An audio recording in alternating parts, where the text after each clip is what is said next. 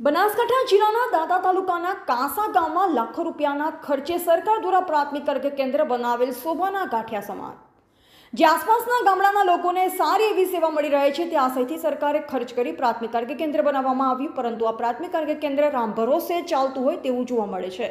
દૂર દૂરથી આવતા લોકો કાંસાનું પ્રાથમિક આરોગ્ય કેન્દ્ર છોડી દાતા સીએસસી કેન્દ્ર પર જવા બન્યા મજબૂર. પ્રાથમિક આરોગ્ય કેન્દ્ર પર માત્ર કમ્પ્યુટર પર કામ કરતા વ્યક્તિ જ હાજર જોવા મળે છે. ડોક્ટર તેમજ અન્ય સ્ટાફ પોતે સમયસર હાજર ન રહેવાનું જનતા દ્વારા આક્ષેપ કરવામાં આવી રહ્યો છે. ચોમાસા જેવી ઋતુ ચાલતી હોય વરસાદના કારણે દર્દીઓ ખૂબ જ હેરાન, પરેશાન થઈ રહ્યા છે. ડોક્ટર તેમજ સ્ટાફ રામ ભરોસે પ્રાથમિક આરોગ્ય કેન્દ્ર ચલાવતા હોય તેવું દેખાઈ રહેલ છે.